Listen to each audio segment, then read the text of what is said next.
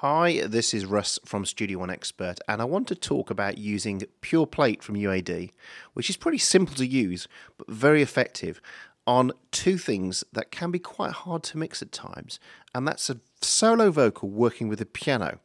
You would think would be the easiest thing in the world, but sometimes it's harder to mix than a, a track of 40, 50 tracks.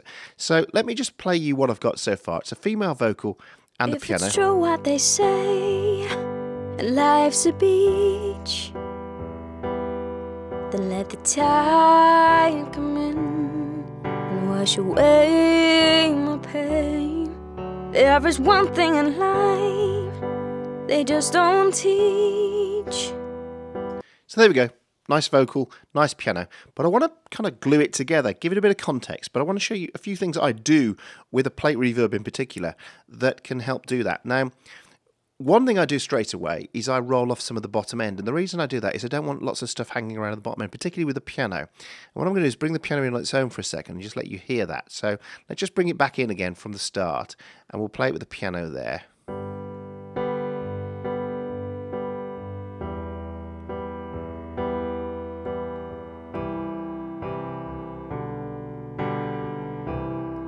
So you can hear the piano there. And so I'm going to roll off some bottom end straight away. The other thing I'm going to do as well is you'll notice uh, the reverb time is quite low and the pre-delay is quite high because that enables me to give it a sense of space without it washing around like it's been recorded in a gymnasium. So let me show you what I mean by that. What I could do to get space is put it up to about three, two and a half, three seconds. And this is what you'll get.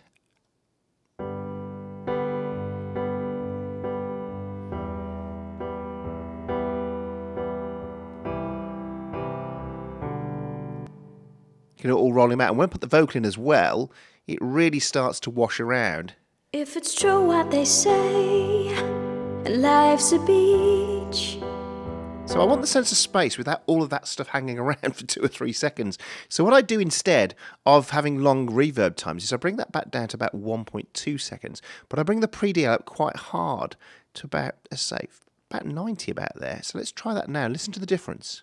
If it's true what they say, life's a beach.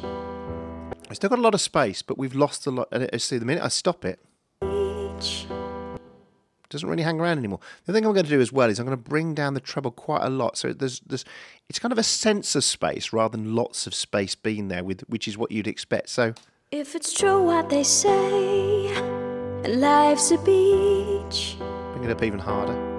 Then let the tide come in and wash away my pain. There is one thing in life they just don't teach. Let's hear that before and after now. Let's just bring it in bit by bit. So I'll take it right out again. This is it without. So this is the piano and the vocal both going through that same plate. If it's true what they say, life's a beach. Start bringing it in.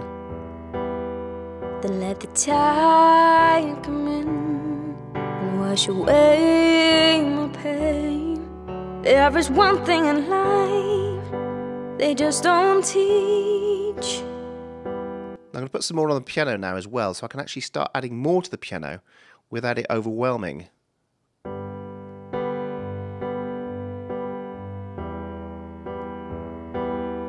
Then let the tide come in and wash away my pain.